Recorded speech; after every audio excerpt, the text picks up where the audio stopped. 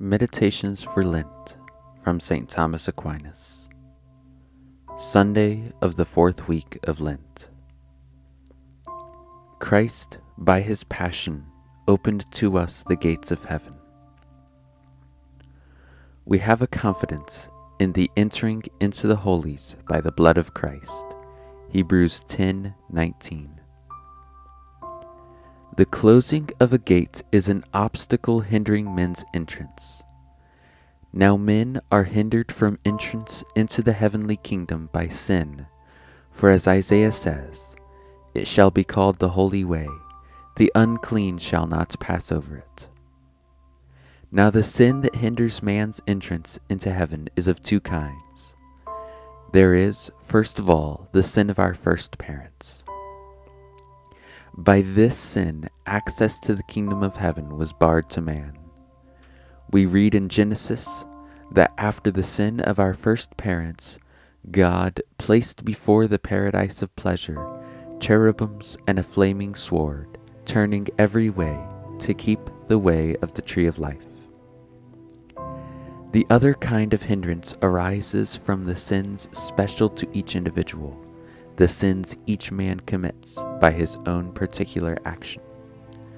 By the passion of Christ, we are freed not only from the sin common to all human nature, and this both as to the sin and as to its appointed penalty, since Christ pays the price on our behalf, but also we are delivered from our personal sins if we are numbered among those who are linked to the passion by faith, by charity, and by the sacraments of the faith.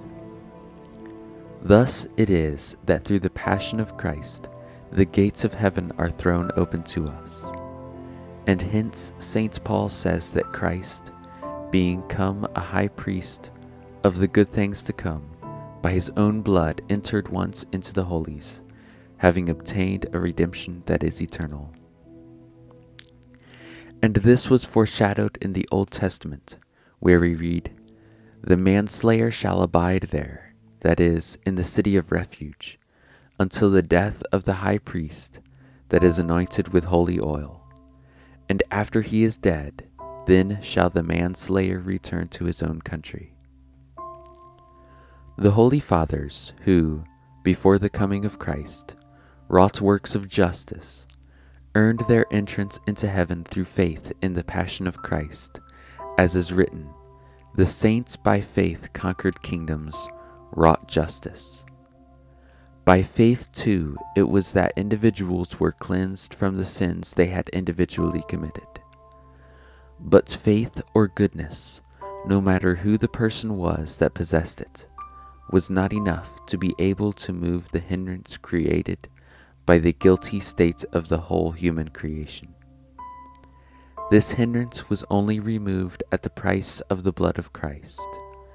And therefore, before the passion of Christ, no one could enter the heavenly kingdom to obtain that eternal happiness that consists in the full enjoyment of God.